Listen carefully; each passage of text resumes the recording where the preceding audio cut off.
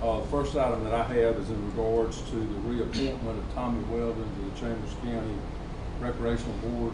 Um, Mr. Weldon's been on the board for a number of years, and he currently serves as the treasurer of the board. He does an excellent job. He keeps up with all the money, uh, and provides financial records, uh, in regards to that. Recreational Board, uh, highly recommends him to the commission for reappointment. So moved. Got a motion? Second. Got a second, any discussion? All in favor say aye. Aye. Opposed, same sign. Okay. Mr. McCoy? Yes, sir. Next, I have, uh, in regards to the East Alabama Water Sewer and Fire Protection District, uh, the district also recommends highly Ms. Yvonne Stanford for reappointment to the board. She's been on the board for, uh, around twenty years now. She is a retired school teacher, and, uh, she succeeded her husband, who was the prior member of the board, who was the past principal of Five Points, uh, Elementary School. So, Ms. Stanford comes highly recommended by East Alabama Board. Motion. Got a motion and a second, any discussion? All in favor say aye. Aye. Opposed, same sign. Okay, Next thing that I have, Mr. Chairman, in regards to the agenda items is the contract proposal for Mrs. uh, Regina Chambers, uh, our county manager. Ms. Chambers has uh, been under a current contract that will actually expire on October 1 or September the 30th of this year. The proposed new contract would be for a three-year term, and it would provide for compensation at hundred and forty thousand, hundred and seventy-seven dollars and twenty-three cents, uh, in the first year. There is a built-in two and a half, uh, percent, uh, escalation clause that states that in the event the county commission afforded the remainder of the county employees with, with a, uh, COLA raise that exceeded that, that she would be entitled to that.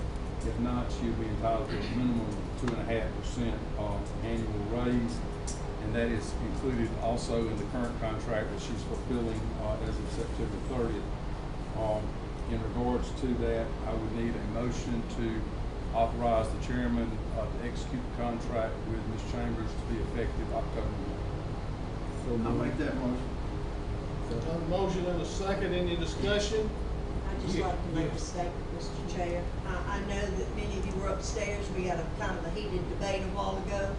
Uh, I'd just like to say that I have great respect for everyone that I serve with as a county commission. And I do not want our debate to be a reflection on our county, uh, manager. Uh, she is a good person. She, uh, I can't give her enough glowing reviews for how well she keeps all of our accounts in order. And, uh, we didn't, wouldn't want to get rid of her for any reason in the world. And that was not about her, it's about procedure.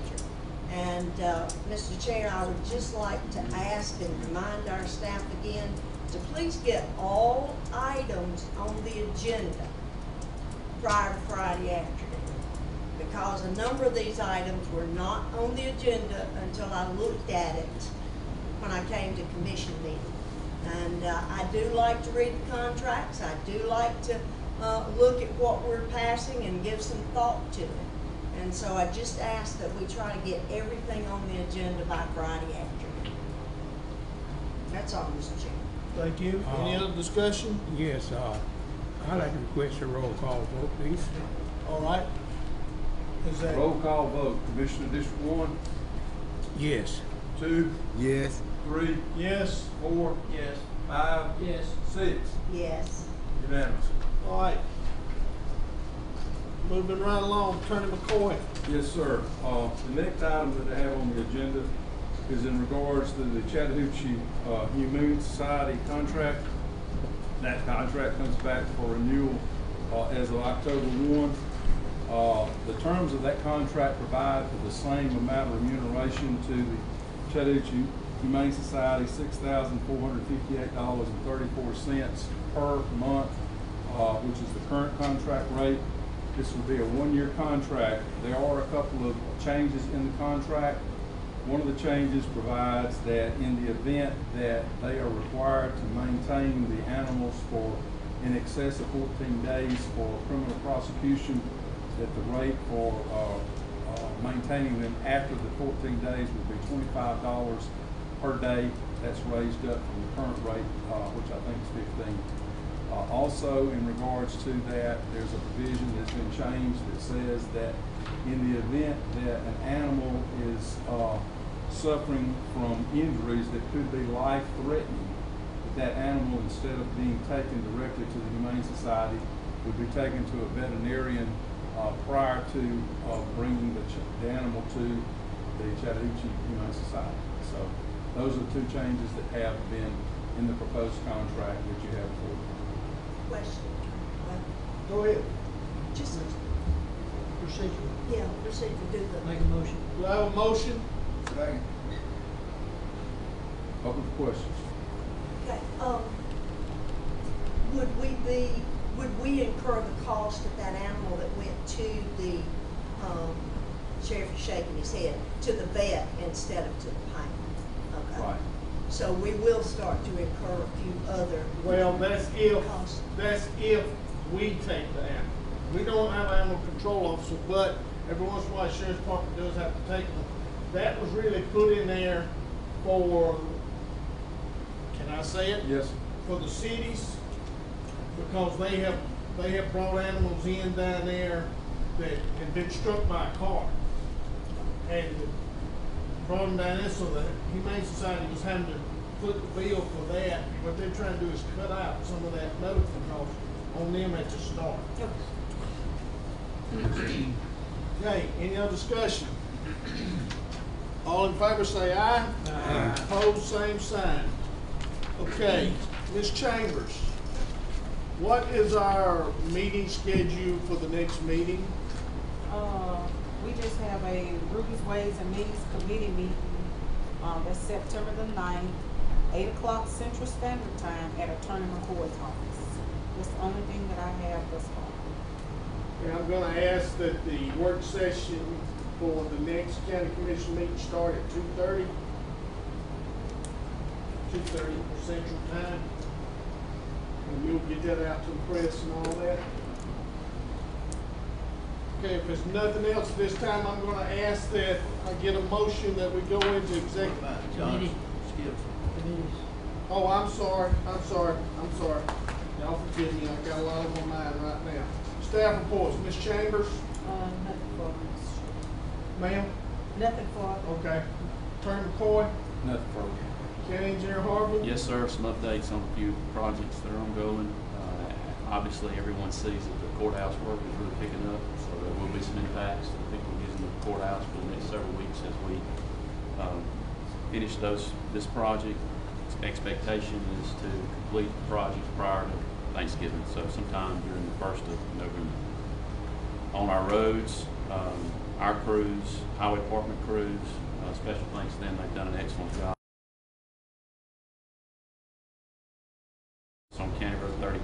Morning. They will be moving from there to County Road one seventy-six. This is out towards the Ward's Mill community. Uh, we've got a little over a mile and a half of one seventy-six that we're gonna reconstruct there near, near a bridge and, and, and I think it should take us about a week, week and a half to finish that, assuming that, uh, the weather stays good. We'll move from there back to County Road ninety-eight. Hopefully, second half of next week is the plan. They should be completing all items on the bridge within the next couple of weeks. And our goal is to move in and within a week be able to open it up to traffic. So it's really gonna be dependent upon the weather. Uh, there's rain forecast for next week right now. But hopefully, the good weather will continue and we can get out there and get ninety-eight open. I know a lot of people are really looking forward to that. Uh, from there, they'll move, uh, out to, uh, the next bridge that we have planned to replace out east of the Woods Mill area where we'll be doing our paving work.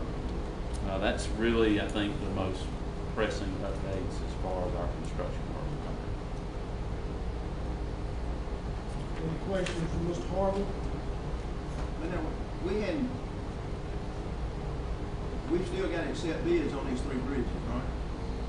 Yes? Yes, uh, all of those projects, especially, we had, we went over, just so y'all know, I, I wrote this down, that was twenty-seven point nine five miles of road improvements in one year and three bridge replacements. So, um, even the work that we do, we still have to bid the materials out.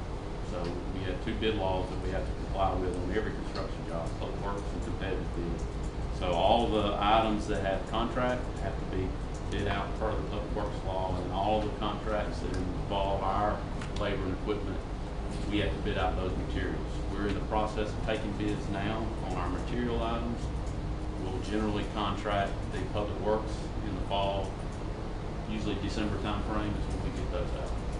So we're gonna work hard on three bridges to get that out quick. I know we've got, uh, I believe it's County Road forty-six, where we have several, uh, people that have been impacted by that bridge closure. So we're gonna work as fast as we can to get those contracts out and those plans together. That's what we're working.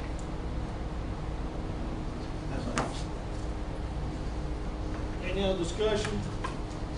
At this time, I would like a motion for us to go into executive session for character and good name. Got a motion and a second. All in favor, say aye. Those